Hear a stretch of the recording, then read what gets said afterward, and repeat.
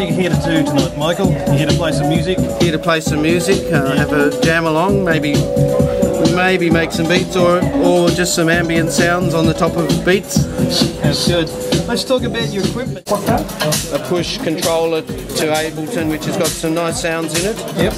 Um, Is that a vocoder? Yeah, it's a late 70s Roland vocoder com- uh, module. Yeah, ah, yes, the SV350, Yeah. as if I know. Same here. Um, beautiful device, yes.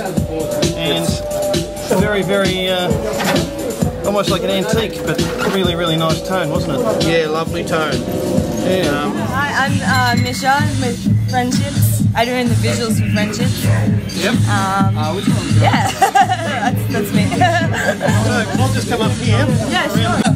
So this is all the equipment that you brought. Yeah, yeah, so this is all for the music and for the visuals. I'm Nick. I play with Mish and Friendships. Um, and hopefully we're going to play some hype shit at the moment. Ah, Okay, cool. Yeah. And you want to talk a little bit about the equipment you brought? Uh, it's pretty simple. It's just like, it's mostly just mapped out to, like, Ableton? so I can kind of roll around Ableton pretty Ah, much, cool. as much as possible without looking at Ableton. Yeah. So, Looks like it's it's become the go-to. Yeah, yeah, because it's so versatile. Um, I guess like everyone uses it differently, so it's just like there's so many ways you can go with it.